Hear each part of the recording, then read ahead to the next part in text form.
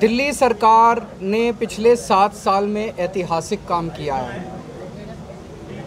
स्कूलों के क्षेत्र में, अस्पताल के क्षेत्र में, बिजली के क्षेत्र में, और जो काम दिल्ली सरकार ने किया है, उसकी चर्चा पूरी दुनिया के अंदर हो रही है।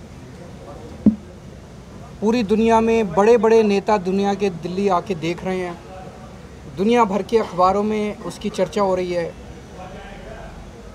ये पूरे देश के लिए 130 करोड़ भारतवासियों के लिए गौरव की बात है, बहुत गर्व की बात है। सबका सीना चौड़ा हो जाता है जब देखते हैं कि न्यूयॉर्क टाइम्स के अंदर इतना शानदार आर्टिकल छपा, इस फलाने अखबार में इतना शानदार आर्टिकल छपा।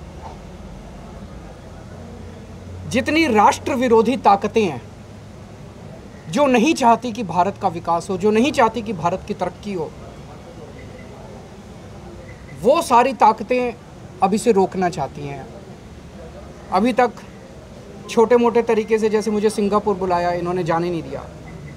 लेकिन अब ये कह रहे हैं, यार, दिल्ली सरकार ख़त्म करो अब। ऐसी सारी राष्ट्र विरोधी ताकतें इकट्ठी हो गई हैं। हमारे खिलाफ दिल्ली की आम आदमी पार्टी की सरकार के खिलाफ, दिल्ली की आज जो सरकार है इतिहास की सबसे लोकप्रिय सरकार है, जिस वास्ट मेजॉरिटी से हम आए हैं। उस सरकार को गिराने के लिए अब सारी राष्ट्र विरोधी ताकतें इकट्ठी हो गई और वो दिल्ली की सरकार को गिराने का षड्यंत्र कर रही हैं। लेकिन हम, हमारे एमएलए हमारे मंत्री सब एकजुट हैं। कोई नहीं बिखरा, कोई नहीं टूट रहा, क्योंकि किसी ने कोई गलत काम नहीं किया, किसी को पैसे की हवस नहीं है। तो ये बड़ी अच्छी बात है, दिल्ली के लोगों को मैं कहना चाहता हूँ कि आपने जिन लोगों को वोट दिया है एक एक हीरा है कोई नहीं टूटेगा। सरकार काम करती रहेगी अच्छा काम करती रहेगी ये झूठे केस एक के बाद एक एक के बाद एक झूठी केस करेंगे। चिंता मत करो। मुझे कहा जा रहा है कि शायद गुजरात चुनाव तक ये सिलसिला जारी रहेगा। जब भी जारी जब तक भी जारी रहेगा हम मज़बूत हैं डटे हुए हैं।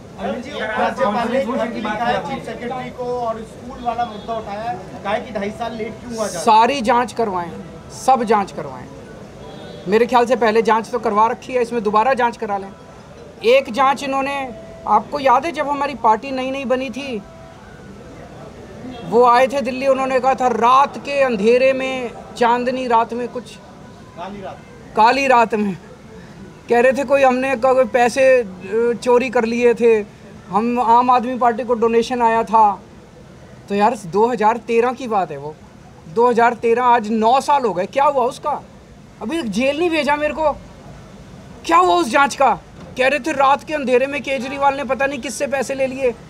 उस जाँच का क्या हुआ? 2016 में मनीष सिसोदिया के खिलाफ इन्होंने आरोप लगाया कि इन्होंने एडवर्टाइजमेंट देने में पैसे खाए। इनके घर सीबीआई की रेड पड़ी उस मामले में। सात घंटे सीबीआई ने उनसे जाँच क्वेश्चनिंग करी। उस मामले का क्या हुआ? फिर इनके ऊपर एक और मामला करा कि वो कोई स्कूलों के ऊपर घोटाला कर दिया मनीष सिसोदिया ने। उसकी भी जाँच कर ली। और जाँच कर लें। सारी जाँच कर लें जितनी तुम्हारी जाँच एजेंसी है। ये शोभा नहीं देता। सुबह से शाम तक सुबह से शाम तक सवेरे उठते आप ये सोचते हो अब मैं इसको महाराष्ट्र की सरकार गिराऊं अब मैं गोवा की सरकार गिराऊं अब मैं मध्य प्रदेश की सरकार गिराऊं अब मैं दिल्ली की सरकार गिराऊं। काम कब करोगे? देश की तरक्की कब करोगे?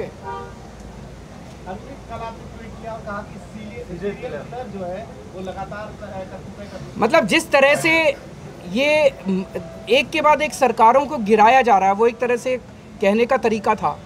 जिस तरह से सरकारों को गिराया जा रहा है, एक के बाद जनता सरकार चुनती है, किसी भी पार्टी की हो, पार्टी इंपॉर्टेंट नहीं है। जनता सरकार चुनती है, अगर आप जनता की चुनी हुई सरकार को गिराते हैं तो आप एक तरह से जनता के ऊपर हमला कर रहे हैं। जनता ये पसंद नहीं करती। और दूसरी चीज़, ये पैसा कहाँ से, अभी तक हमने कैलकुलेट किया, इन लोगों ने शायद 277 एमएलए अभी तक ये छोड़ के इनकी पार्टी में गए हैं। दो सौ एक मिनट।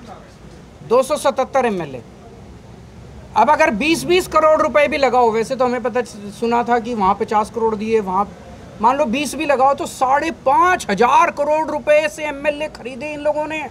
साढ़े पाँच हज़ार करोड़ रुपए। कहाँ से आई ये पैसा? ये आपकी जेब से गया है। ये आपकी जेब से गया है। ये जो पेट्रोल महँगा हो रहा है ना, ये क्यों हो रहा है? ये सारा इधर ही जा रहा है। ये डीजल महँगा हो रहा है क्यों हो रहा है? ये इनके दोस्तों के कर्जे माफ़ करने में जा रहा है। ये जो अभी जब महाराष्ट्र की सरकार गिरानी थी तो इन्होंने जीएसटी छाछ पे, दही पे, दूध पे, गेहूँ पे, चावल पे जीएसटी लगा दी। महाराष्ट्र की सरकार गिराने को पैसा चाहिए था। जनता को पीस के, जनता का खून चूस के अरबपति दोस्तों के कर्जे माफ़ किए जा रहे हैं और उनका एमएलए खरीदे जा रहे हैं। बहुत बहुत शुक्रिया।